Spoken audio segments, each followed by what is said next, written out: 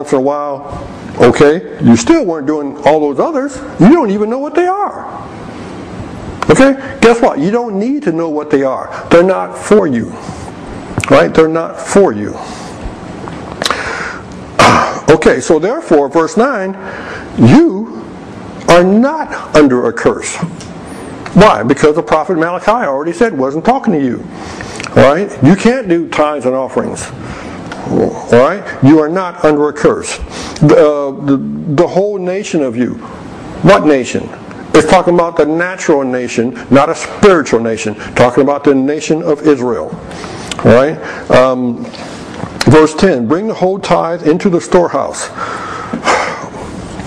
The storehouse.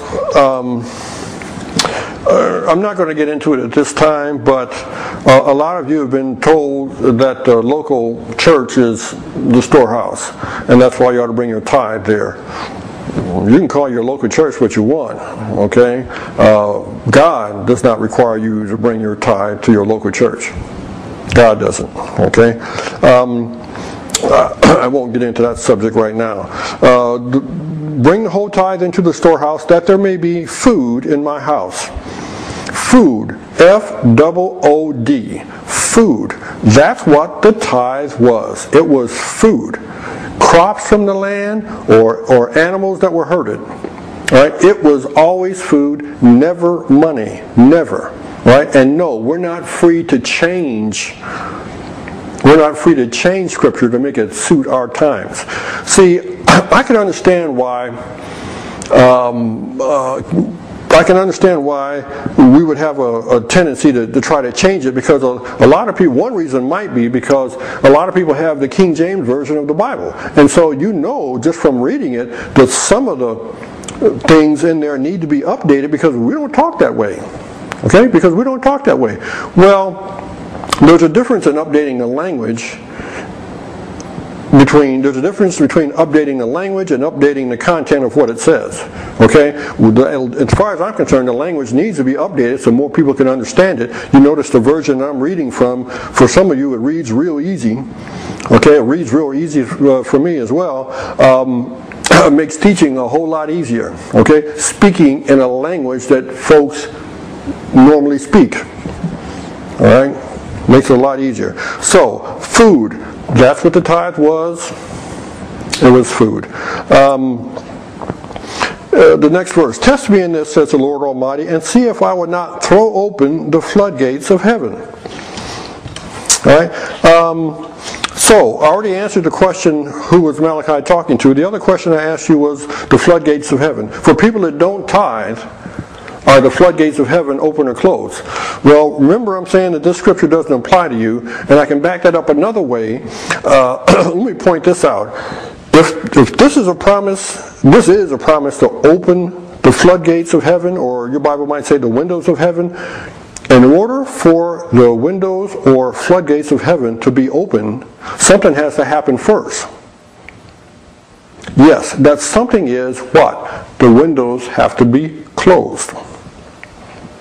So, for us, for, for people that do not tithe, right, are the windows of heaven closed to us? I'm telling you, no. Okay, you need some evidence. Glad to give it. Open your Bible in the New Testament. We're going to go to Ephesians chapter 1, starting in verse 3.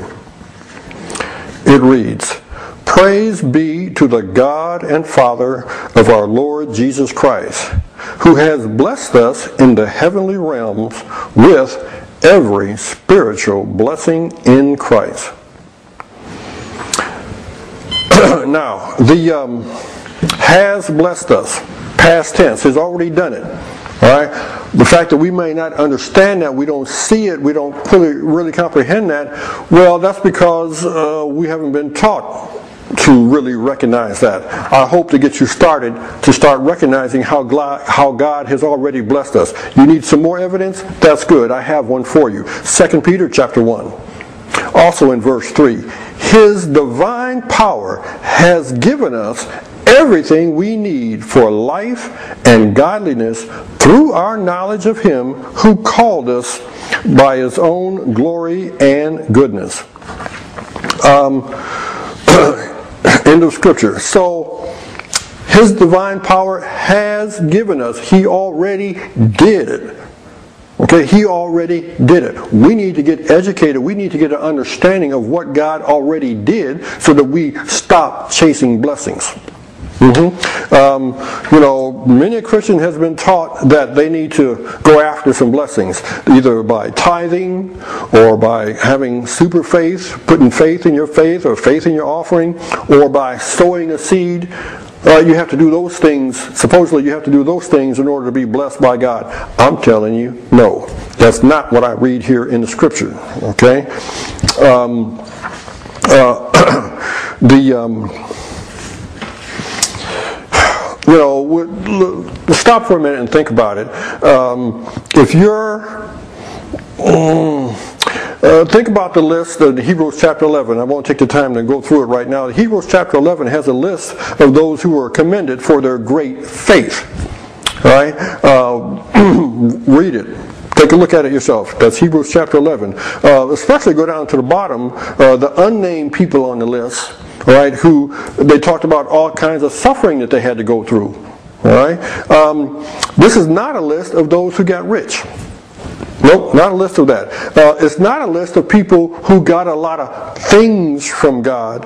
Whose faith, you know, it's, not, it's not just people who had big enough faith to receive big things from God, things that they could consume. You know, cars or horses or this or that or houses. Yeah, God it's okay for us to have some of those, okay, for sure. I'm not against that. Uh, but think about it. Who's the richest man in the Bible? Solomon? He didn't make the list. Right? Solomon didn't make the list. It's not just about uh, um, and think about Abram for just a moment as I close out here. Um, Abram was rich, but why was it? I've heard say that Abram was rich because God, uh, because of his tithing. No, he was not rich because of his tithing. All right, pay attention in the next section. I'll show you. Uh, he was not rich because of that. He was rich because God said, "Abram, I'm going to bless you."